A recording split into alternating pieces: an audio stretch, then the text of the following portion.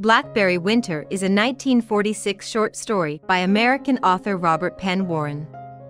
The story features nine year old Seth, an innocent and optimistic Tennessee boy whose day is narrated from the perspective of his ambivalent adult self.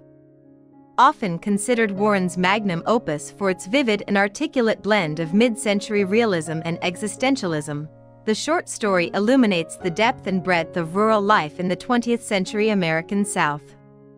It also explores the situational irony intrinsic to growing older, showing how new experiences continually reshape one's memories of the past.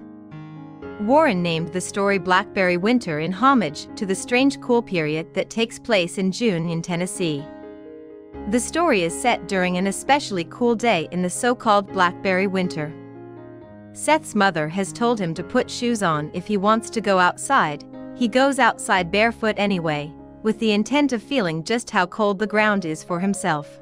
Before he steps outside, he notices a stranger approaching the house from afar. Seth's mother reins in the dogs, joining Seth to watch the man approach.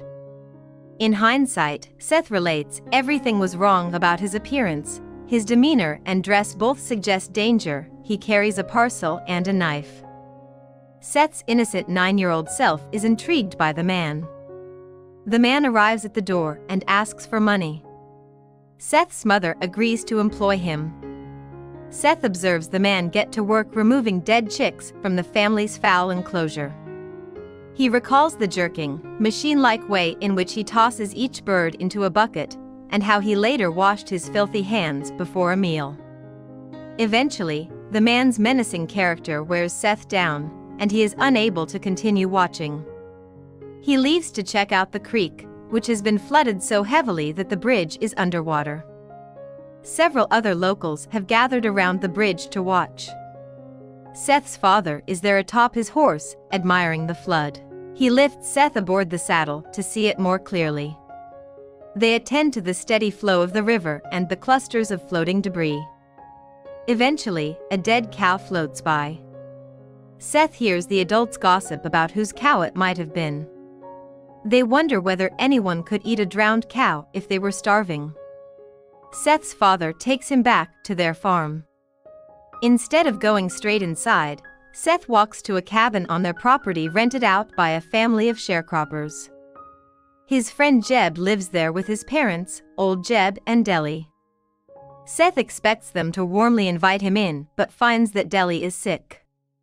Old Jebb explains that the June cold portends the end of the world and expresses his belief that the world is now full to the brim with sinful folks.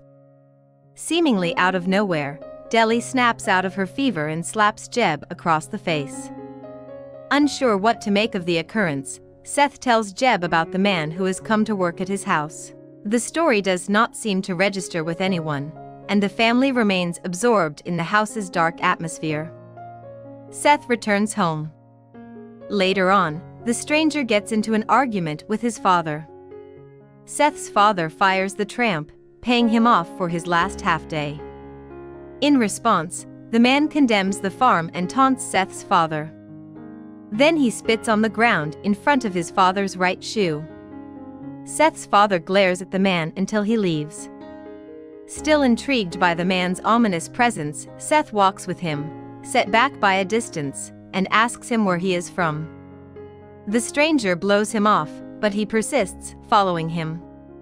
At last, the tramp turns and threatens to slit his throat if he follows him farther. The story then shifts to the present day, 35 years after the arrival of the stranger. Seth's parents have both passed away. Jebb is in jail, and tragically, Dellie died early. Old Jebb, however, is going strong and is more than a century old. The narrator admits that though the stranger threatened to murder him, he continued to follow him for those three decades. The story ends with the ambiguity of this notion of following, suggesting that Seth might not have physically pursued the man, but was, nonetheless, unable to shake the experience of meeting him. Blackberry Winter demonstrates how innocence does not require a dramatic twist, or even an intelligible story, to dissolve in the mind of a child. I hope you enjoyed this video leave a like if you did and be sure to subscribe thank you.